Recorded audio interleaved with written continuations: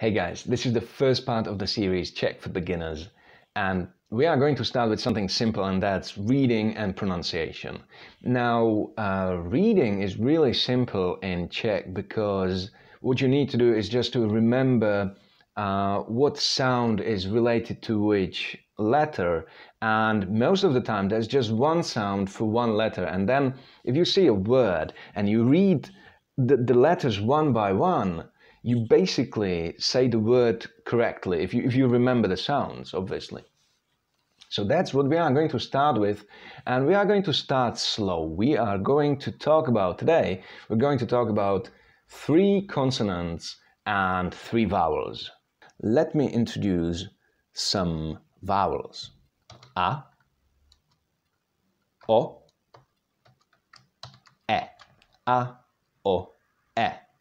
Now, vowels in Czech have always two forms, and that is short, that's what I've just said, a o e, and long. Now, in writing, a long vowel takes this diacritical mark, and of course, it's pronounced slightly longer. So you would say a short, a long. O, o. E, e.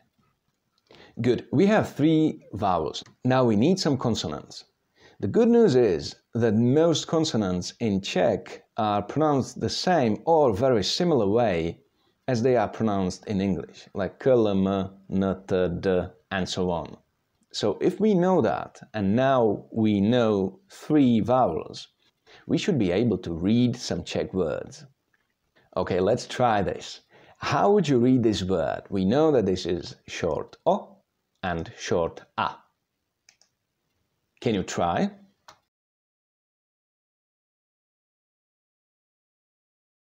Bota, and it means a shoe. How about this one? That is long a and short a. Can you try to pronounce that?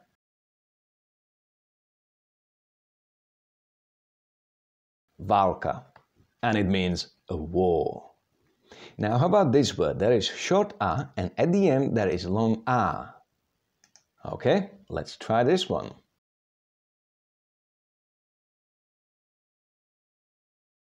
Mlada. And it means young in its female form of this adjective. And in the last word of this exercise, there is long a and short o.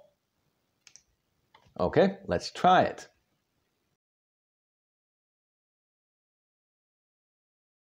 Rano. Rano. And it means morning. Now, I am sure that you noticed how I pronounced this first letter. And I pronounced it R. That's because R in Czech is fully pronounced and has a lot of friction in it, uh, very similar to Scottish R. So it sounds rano. Also, I am sure that you noticed another interesting fact about Czech pronunciation, and that is where the stress is in the words. In Czech, the stress is always on the first syllable in the word. So, even if that is a long vowel in the middle or at the end of the word, the stressed syllable is always the first one. Let me demonstrate it on a very nice word in Czech and in English, this word means the same. And in English, you would put stress on, the, uh, on this syllable, which starts with m. You would say chameleon. Now, in Czech, we know that this is impossible. We have to put the stress on the first syllable. And then we have short a, e, e, o. Together would be el, and uh, we should be able to pronounce that. Now there is one little catch, and that's the first sound, because ch together in Czech are always pronounced h, h. So now we know how to read this word, don't we? Let's try it.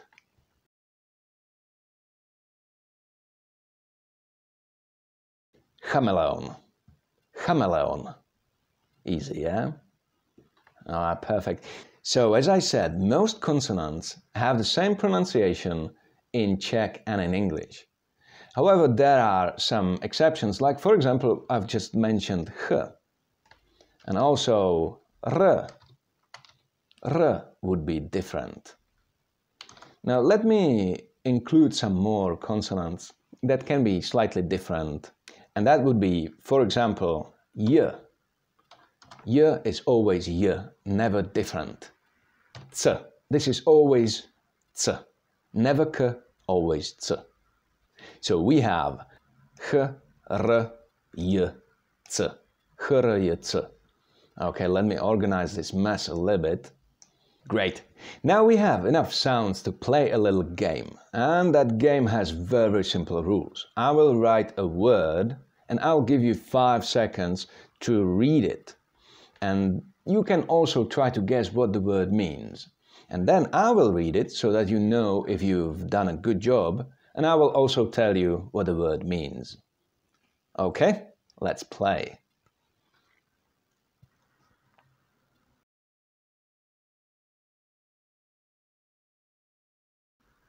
Jaro. Jaro. And it means spring, like the season in a year.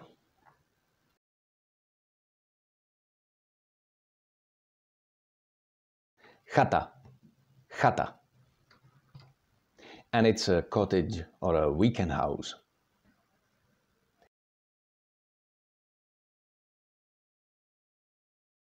Chrápat, chrápat. And it means to snore.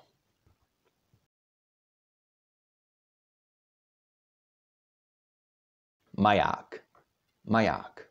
And it's a lighthouse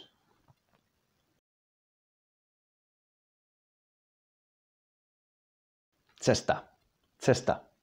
And it means a road.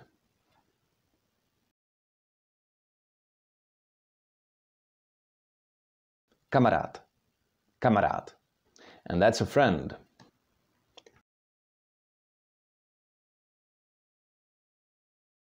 Lachtan, lachtan. And that would be a sea lion. Nice. I'm sure that you've done a great job, and I'm also sure that you remember all the rules that we've talked about today. But let me summarize them for you a little bit before we finish. In Czech, the stress is always on the first syllable in the word. Vowels have two forms, short and long. Consonants are mostly pronounced the same or in a very similar way as in English. Most of the time, there is no change in how a letter is pronounced. Most of the time, there is just one sound for one letter. CH is always pronounced h. R is always pronounced with a lot of friction in it. This is always T. and this is always y. All right, so this is all for today. That was the first part of the series Czech for Beginners. Today we talked about reading and pronunciation and next time we are going to include some more consonants and some more vowels and we will continue to expand the ability to read and understand the Czech language.